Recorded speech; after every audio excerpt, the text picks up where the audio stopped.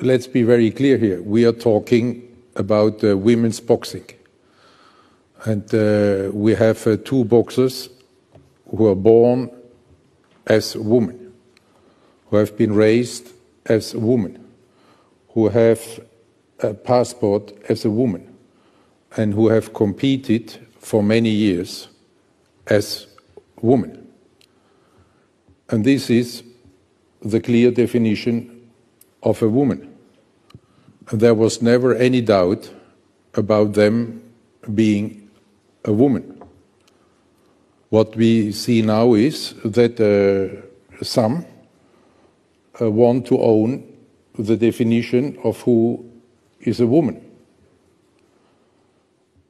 And there I can only invite them to come up with a scientific uh, based a new definition of who is a woman and how can somebody being born, raised, competed and having a passport as a woman cannot be considered a woman.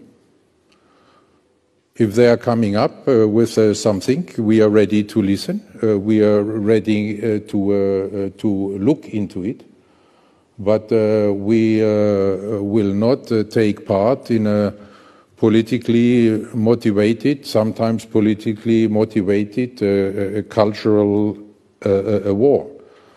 And allow me to say that uh, what is going on in this uh, context in the social media with all this hate speech, with this aggression and abuse, and fueled by this agenda is totally unacceptable.